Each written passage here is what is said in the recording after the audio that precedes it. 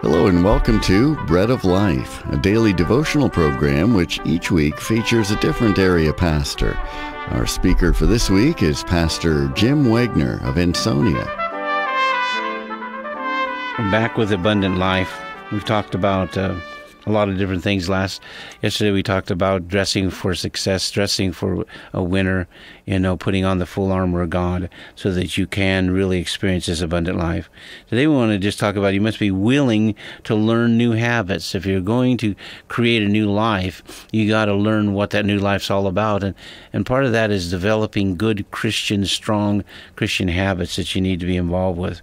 In Acts chapter 2, right after Pentecost and after the church was formed formed and and the people were baptized. It says in verse 42, it says they continued devoted themselves to the apostles' teaching, to fellowship, to the breaking of bread, and to prayer the, this this kind of devotion brought about a amazing lifestyle that everybody in the around the community wanted to, and the church just grew like crazy because they wanted what they had.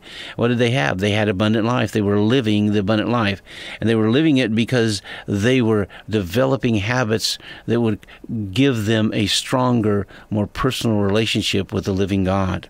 He says they they they continually devoted themselves. Uh, that's a habit, okay? That's a habit, a strong habit to the apostles' teachings. That would be our our New Testament, especially, but our whole Bible too. Okay, it says that we use the Bible then as a standard by which we understand how to live this life, okay? If you're not memorizing, if you're not reading, if you're not studying, if you're not going to church and hearing the sermon, going to Bible study, if you're not taking in the very word that tells you how to live or participate in life with God, because that's what Jesus came. He came to set us free that we may have a life with God. And then he said, here's how you participate with life with God. And so you need to have that kind of understanding. And so the Bible gives that to you. You need to have that that habit very strong in your life. Also, he says that you need to have the habit of fellowship, okay? And this is important eh, for us to have this concept of fellowship. Fellowship is more than just a knife and fork, having meals together. It's really learning to live together and live together with God in this abundant life that He's given us.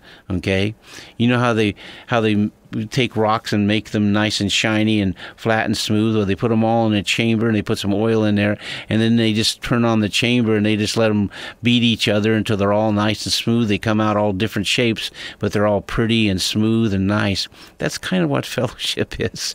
We just kind of knock each other around, and we're we're accountable to each other, and we love each other, and we caress each other, and we forgive each other, and until we come out nice and smooth and usable for God. And the more fellowship helps us become more usable for God. We also need to remember communion every every week we need to remember that Jesus died for us and saved us and brought us into this abundant life. We need to have that concept in our lives. Communion is much more than we can realize it. Paul says that some fall asleep because they're not taking it right. We need to understand that we need to take this is a holy time to remember. God was a great God of remembering. Look, go read the Old Testament, all the monuments he set up to remember what he, so the people remember what they did, what he did for them. I mean, you know, he set up monuments over and over again for the people to remember what God had done for them. This is another time, and this is a holy time, for this is about the grace of God and the power of Christ and, and to give us his abundant life. So we need to remember that in communion, in the Lord's day with the Lord's people in the Lord's Supper. It's something that needs to be a habit for our lives. And then we need to have the habit of prayer. We need to communicate with God regularly.